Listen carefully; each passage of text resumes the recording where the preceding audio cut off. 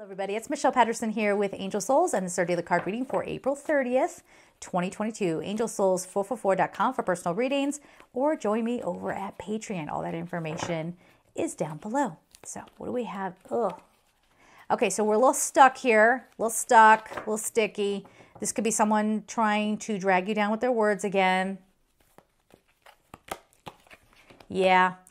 Seven of Michael. There's a better course of action available to you uh, working alone may not be the best answer. Review all the details. Someone is trying just to be careful of any backstabbing. Be careful of someone who tells you, who tries to get you not to believe in the lighted path. Okay? This would be the kind of, uh, you know, people who would say, You're lucky to have this job.